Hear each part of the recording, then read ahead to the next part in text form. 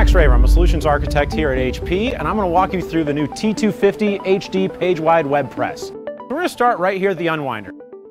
Our media range on this press remains the same as on our T240. It's 40 GSM up to 250 GSM. Everything from your pharma fold application up to a direct mail piece. As we go up the print zone, we have HP Optimizer, which is new with the T250 HD. We have two black print bars, two cyan magenta print bars, and a yellow print bar. We've been able to use our new technology to come up with a new ink set, but the beauty is we got to keep all the best parts of what you guys are familiar with from HDNA on our T240 HD. We have eight times nozzle redundancy in black, we have four times nozzle redundancy in CMY, and what that means to you is if you have paper dust come up and block a nozzle for a second, you're not getting a void on your output. You're gonna be able to sell that sheet still.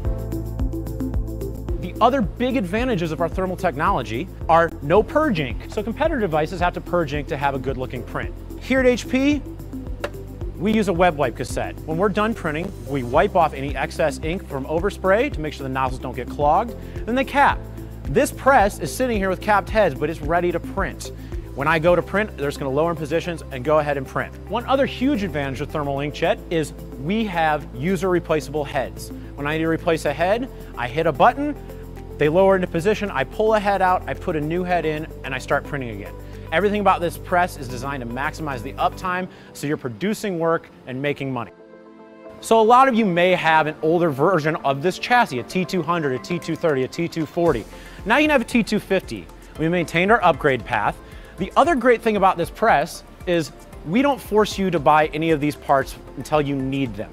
If you had a T200, it came with these dryers. That's great if you were running 60 pound uncoated, it's all you needed. A T230, we doubled the speed, we went to 400 feet per minute. The dryers were still adequate. With the T240, we went to 500 feet per minute, and we also added dual drop weight in a quality mode.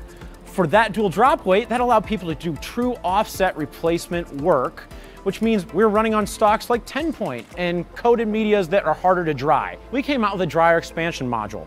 So if you're a customer who bought a T200 and followed us through our upgrade path, you were able to start with average of 5% coverage work on uncoated, and now you can do full coverage work on a 10 point stock by using that DEM. That has 30% drying capacity. But if you don't need it, you don't have to buy it yet. But as your business changes, we can change the press with you.